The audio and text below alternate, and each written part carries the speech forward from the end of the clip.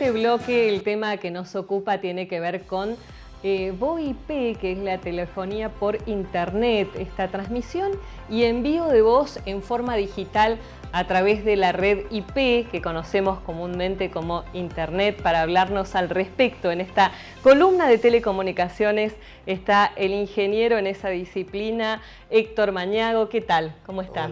Gracias por acompañarnos. Bueno, Héctor, si bien hemos abordado este tema en otras oportunidades, eh, no está de más recordar qué es VoIP. Bueno, VoIP es el término que viene de, de traducir en inglés voz sobre tecnología IP. Es decir, es la digitalización de las señales de audio de un teléfono para ser transmitido a través de la red como si fuera un dato de cualquier sistema de información. Y se recupera a través de otro software o dispositivo para recuperar la señal de audio audible. Este es un servicio que se ha implementado en la Universidad Nacional de Río Cuarto. Eh, ¿Con qué finalidad?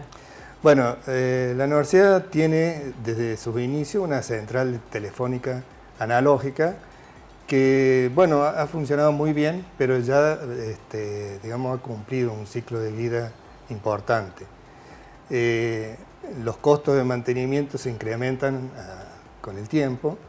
Entonces se pensó en el desarrollo de un sistema interdisciplinario donde, bueno, podemos ampliar la capacidad de esa central telefónica utilizando tecnologías más modernas y de bajo costo. Claro. Eh, ¿Cuáles son los beneficios que eh, recibiría el usuario con esta implementación? Eh, bueno, los beneficios el usuario en sí, digamos, no, debería notar diferencia en cuanto al servicio de telefonía.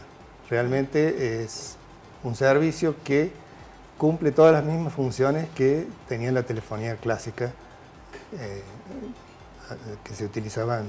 la telefonía analógica, ¿no es cierto? A la que estamos acostumbrados. Sí, sí. O sea que no tendría que notar diferencias. No, no, no. Eh, va a utilizar un teléfono que es tiene otras características distintas al, teléfono analógico, pero las funcionalidades son exactamente las mismas, exactamente las mismas, y como es un sistema que funciona con software, se pueden ampliar algunas capacidades como este, mensajes de voz este, y otras capacidades que se pueden ir eh, adjuntando el sistema. ¿no? ¿Hay alguna fecha ya prevista para el inicio, la puesta en marcha de, este sistema y el acceso al mismo? Bueno, el sistema está funcionando.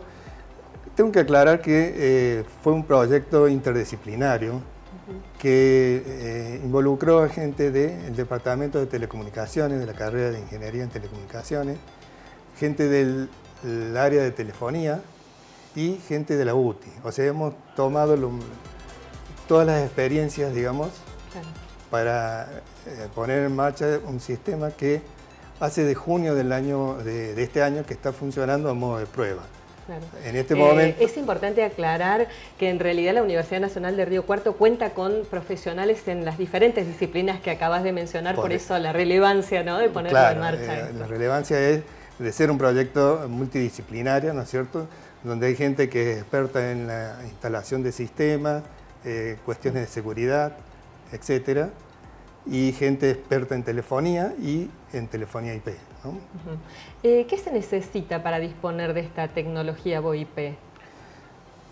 Bueno, en cuanto como, a tecnología como, le decía, el, sistema en realidad es un servidor, un servidor como cualquier otro servidor de sistemas, ¿no?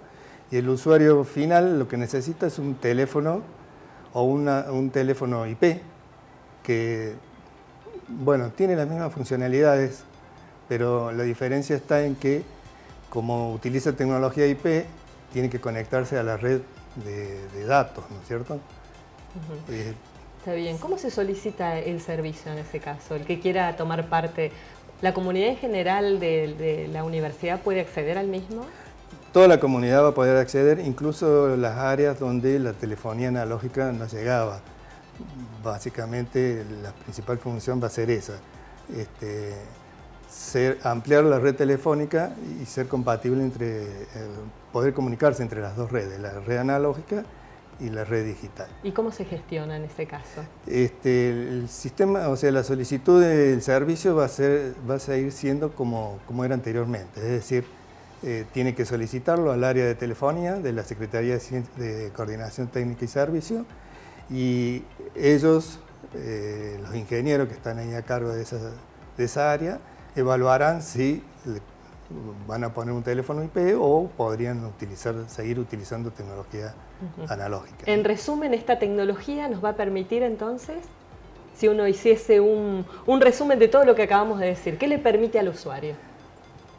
Al usuario eh, es un servicio de telefonía eh, que va a permitir las comunicaciones habituales, ¿no? las comunicaciones habituales. Y a la universidad, el beneficio para la universidad es ampliar la red telefónica, digamos, sin costos extra. Y en algún momento, en el futuro, digamos, a medida que la evolucione esta tecnología, este, reemplazar la central telefónica, que como les decía, tiene un costo de mantenimiento ya cada vez más elevado por ser ya por su antigüedad. ¿no? Bueno, Héctor, ha sido un gusto contar con tu presencia hoy aquí en esta columna. Gracias, ¿eh? Gracias. Gracias por eh, traer esclarecimiento a este tipo de temas que tienen que ver con la tecnología que hoy nos atraviesa. Gracias. Muy bien.